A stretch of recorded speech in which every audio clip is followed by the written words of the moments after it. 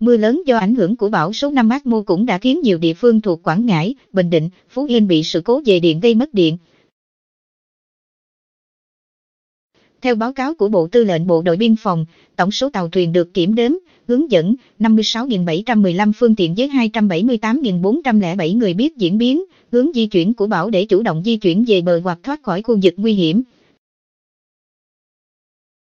Báo cáo về sự cố tàu thuyền tại Quy Nhơn, Bình Định, Bộ Tư lệnh Bộ đội Biên phòng cho biết, 7 tàu vận tải với 70 thuyền viên tại cảng Quy Nhơn bị trôi, tính đến 2 giờ 30 ngày 31 tháng 10 còn một tàu bị mắc cạn, một tàu thả trôi và hiện vẫn giữ liên lạc, 5 tàu đã khắc phục đảm bảo bình yên,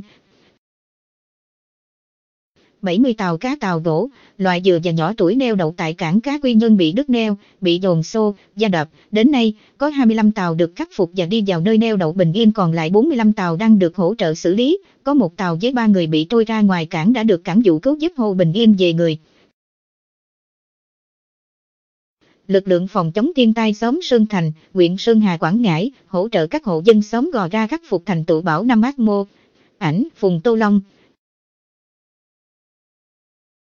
Về tình hình hồ chứa thủy điện, đến 6 giờ 30 ngày 31 tháng 10 năm 2019, các hồ khu vực Trung Bộ và Tây Nguyên đang vận hành bình thường, có hai hồ xã điều tiết qua tràn lưu lượng xã lưu lượng về hồ Ba Sờ, Rai 1 giờ 934, Bảo Lộc, 6 chi 46, trong đó lưu lượng về hồ thủy điện các khu vực Bắc Trung Bộ, Tây Nguyên, Đông Nam Bộ mực nước dao động nhẹ, duyên hải miền Trung giảm, mực nước các hồ thấp, một số hồ sắp xỉ mực nước chết các hồ vận hành bình thường. Về hồ chứa thủy lợi, theo báo cáo của Tổng cục Thủy lợi, khu vực Bắc Trung Bộ dung tích bình quân đạt từ 60% đến 85%, hiện còn 53 hồ chứa đang hư hỏng và 20 hồ chứa đang sửa chữa, nâng cấp.